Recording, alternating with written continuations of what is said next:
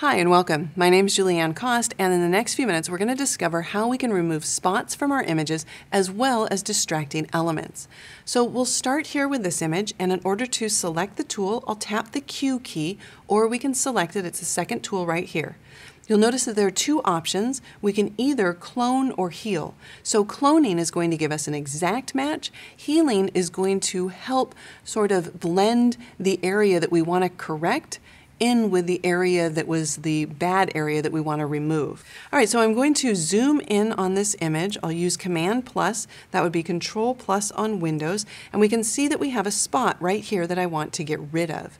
So in Lightroom, I'm going to click right directly over that spot, and then Lightroom will automatically select a good area to clone or heal from. Now I've got it set to clone, so it's creating an exact duplicate. If I want to blend it a little bit better, then I can change it to heal. Now I'll hold down the space bar again, and I'm going to quickly look to see if I can find any other additional spots that I need to remove. Now, if I were just to move through this image very quickly, I probably wouldn't see the spots in the sky right there. So there's another tool that I can use. It's called Visualize Spots.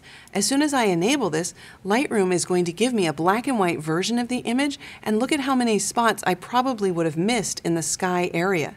So I'll leave this turned on. I'll get a little bit smaller of a brush, and I'm actually going to decrease the feather a little bit, and then just click over each one of these spots. You can see as I do this, Lightroom automatically selects a good source point to draw from. Then I'll use the spacebar and scoot over, go ahead and remove these spots right here, and then scoot over one more time and just check and make sure that there aren't spots over here. Well, in fact, there are, so let's go ahead and click these to get rid of them as well.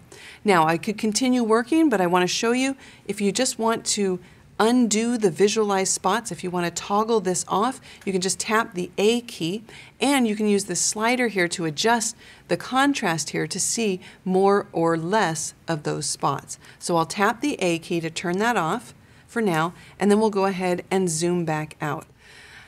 All right, let's go ahead and move to this image for a moment because now I want to show you how to remove more distracting elements.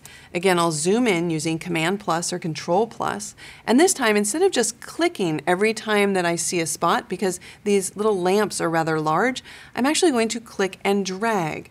I will start with a little bit larger of a brush and then I will click and drag over the entire lamp, making sure that I get that center part. And then when I release the cursor, Lightroom will go ahead and try to auto correct that. And I think it's doing a rather good job. If we tap the H key to hide the edges there, you can really barely see where we've removed the lamp. So I'll tap the H key again to show the edges in the interface. I'll use the space bar to move to the next lamp and go ahead and do the same thing. So I'm just removing this area now this time it didn't do quite as good of a job. If I tap the H key, we can kind of see this area here. So I'll tap the H key again to show the spot from which it is selecting. And I'm going to just relocate that spot. I'll move it up and over here to the right a little bit until I get a better alignment there. Excellent. We'll go ahead and use the space bar again and you can see how I can quickly remove all of these lamps making minor adjustments if I need to. If Lightroom doesn't automatically select the correct source for me, I'll just adjust that a little bit, maybe right to there. Again, tapping the H key if we want to see a before and after. All right, let's go ahead and just adjust these last two really quickly. I'll go ahead and adjust that one. Look at that, it picked a spot from quite a far distance away, so let's just help out Lightroom here and choose another spot that maybe aligns a little bit better. And finally, we can move up to the top here and we can adjust this by just removing it. Again, we'll see if we need to realign that. We can tap the H key to see before and after. And in fact, let's go ahead and just take that from a little bit further to the left. Excellent. All right, let's zoom back out. I have a number of shortcuts that I just want to mention that'll make using this tool much easier.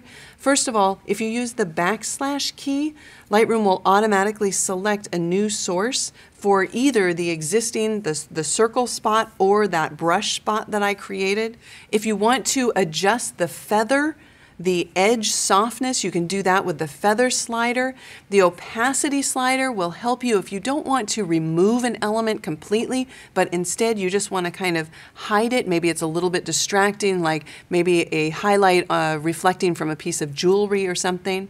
And finally, if you have something like a a straight line, like maybe a telephone wire going across your image, you should know that you can click at the beginning of the telephone wire and then hold down the shift key and click at the end of the telephone wire and Lightroom will automatically connect those two paint spots and heal that entire wire at one time.